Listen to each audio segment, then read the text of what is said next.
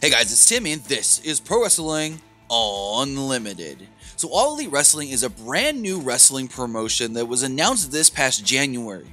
Now, not to knock AEW or anything, but a lot of fans try to make them out to seem like they're a lot bigger than they actually are, and they're really not. They're a brand new company starting from the bottom up.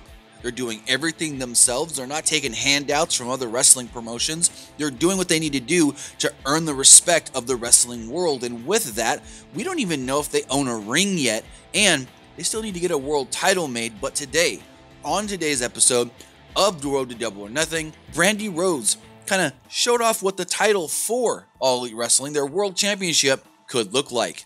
If you see in this image here, you see an outline of what they're going for with their World Championship. As Brandi is talking to belt maker Dave Millican, she asks him about the progress of how the belt's going, how the belt is being made and whatnot, and he states that everything's going good.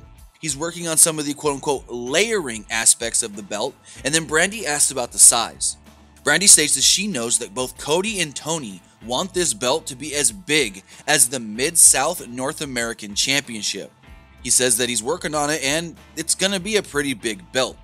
Now, as we look at images here of the Mid South North American Championship, that is a very big belt.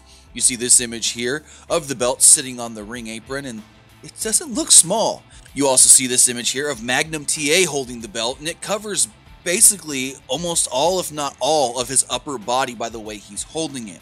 So this is not going to be any small belt that All Elite Wrestling is creating as their world championship. Again, we don't know exactly what the belt's going to look like, but the way they positioned the image of the belt, the rendering, the drawing in this video, we do kind of get a little picture of what the layout of the belt is going to look like. So let me know your thoughts in the comments below on what you think the AEW Championship is going to look like, the slight information we got today, and if you're excited a big, huge belt coming to AEW.